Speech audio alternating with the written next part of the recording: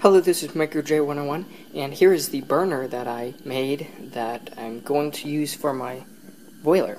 So, this is my boiler here, if you didn't see the last video. Um, so it's a tomato sauce can. I'm not actually going to use this burner for this boiler because this one I have um, deemed unsafe, just because I don't trust it. If it if it has 30 psi of steam in it and this falls on the desk just from this high, I'm pretty sure it would probably explode and it wouldn't explode in the way shrapnel flying everywhere, but probably if one of the ends flew off, just if it dented a little bit, one of the ends would probably fly off. Steam expands like 1,600 times or something like that. Hot steam and water coming out of there, boiling water. It would be a huge mess. I would get a huge steam burn, so I really don't think that's very safe. Um, so this is actually going to be for a new boiler that I'm going to be making. Um, so I still have to get a propane bottle. I'm going to use a propane bottle, um, the 14 ounce size. These are, or I mean, these are 14 ounce size. I want a 16 ounce size, which is um, they're a little bit, they're more, they're fatter and a little bit shorter. But um, because this is just, if I use this one, um, it just wouldn't be quite big enough, I don't think, and it's too long. I want a shorter one.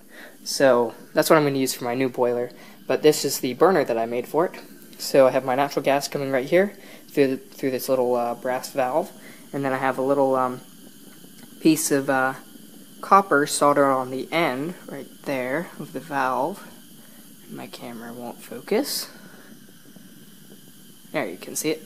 And there's a little hole poked in that, so let me turn it off here. You can see there's a little hole poked in it. Wow, it's not focusing at all. Okay, there you go. You can see the little hole there. That just blows right into the, um, this is actually a, a bell.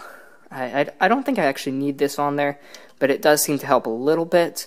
It gets a little bit more air in there. So um, this is just a piece of stainless steel tubing I got from somewhere. And um, I cut a bunch of slots in it and I bent over the end. That took a long time to bend over the end because this is really tough tubing. And then the, I wasted, I um, ruined a couple blades cutting it too because it was so hard, or very hard. Um, and then the screen, I put that on there. That seems to help a little bit. Um, it just, I'm not sure which is better with this screen or without. So let me light it here. All right, so that's what it looks like with this screen. It's got a real nice hot flame and then you can adjust the airflow or how much air goes in by moving this in and out.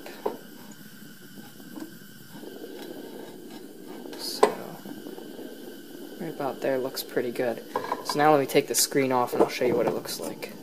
That's what it looks like without the screen. So it's still pretty hot, but I'm not sure if it's really, not sure where, that might be, that might be the best right there.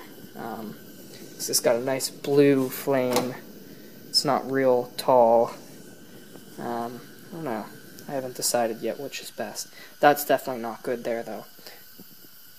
So, I need to do some more research on natural gas burners and how much air they should have. But I think that that, the, the way the flame is right there, I think it's getting too much air. And that's probably about right. This is not enough air. So right about there is probably best if I want the slits. Um, so I'm not sure. Maybe you guys could give me some advice on this. If the screen, putting the screen on there makes makes it more efficient or less efficient or what. It just seems to spread the heat out a little bit more. So whether it's how you want it, I don't know. So yeah, that, that's my burner. Just thought I'd make a little video on it and show you guys. Um, it's actually leaking out a little bit there, but that's okay.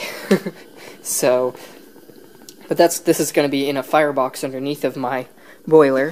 The I think the 16 ounce can will be about the size of this, so it's going to be underneath of it. I'll have a nice little um, firebox underneath, and I'm planning on having a copper, a couple of copper tubes going up through the middle of the boiler to uh, make it more efficient. So, yeah, that's going to be my boiler. I need to get a propane bottle though. I do not have that yet.